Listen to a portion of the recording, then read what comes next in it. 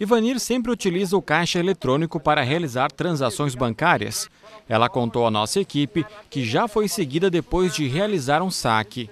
Acho que alguém ligou de dentro do banco e eu estava com 3 mil e pouco dentro da bolsa.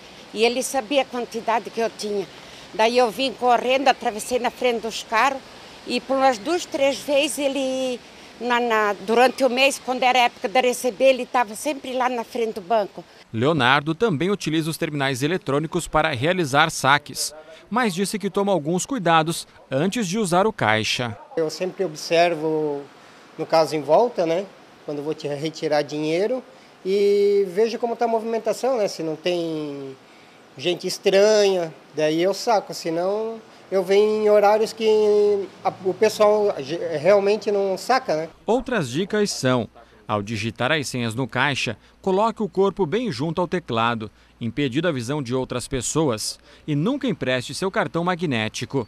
O tenente da Polícia Militar orienta ainda para nunca pedir ajuda a estranhos. Se possível, procurar não tirar uma quantia muito grande, é, também procurar ir ao banco acompanhado de algum familiar, alguma pessoa de confiança. Temos que cuidar ali com, com o golpe do bilhete premiado e similares, tem que ter esse, esse tipo de cuidado.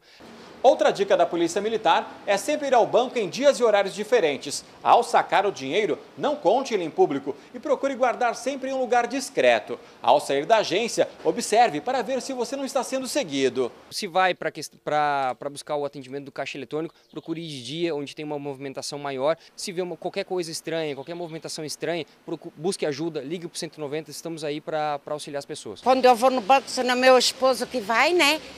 Mas eu tenho muito receio e então tem de ter muito cuidado, principalmente a pessoa idosa, né?